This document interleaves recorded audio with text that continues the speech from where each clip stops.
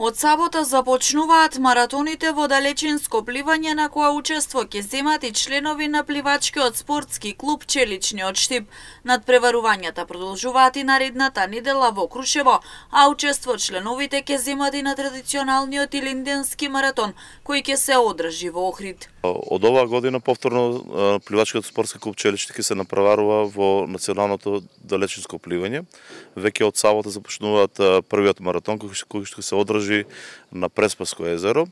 А, веќе наредната недела на 23 ќе биде и вториот плувачки маратон кој ќе се одржи четврта година поред на Вештачкото езеро во Крушево, значи тој се вика Тоше Провески плувачки маратон и на него ќе настапат исто така плувачи од нашиот клуб. Методи Георгиев и Ивона Наумова ќе го представуваат пливачкиот клуб Челични на сите маратони, на далечинско пливање на 2,5 и 5 километри. До крајот на годината ќе земат учество на вкупно 5 маратони. Традиционално на 2 август се одржува Елиндискиот маратон во Охрид, на него веќе традиционално веќе настапуваме околу 10 години и оваа година ќе имаме двајца начина прворучи таму кои што ќе настапат. Јакимовски посочува дека оваа година очекуваат високи резултати, речи се идентично како и лани. Подготовките веќе се во тек. Па подготовките оваа година течат исто како и претходната, со тоа што веќе овие двајца пливачи се веќе на училиште во Скопје и веќе се подготвени, веќе користат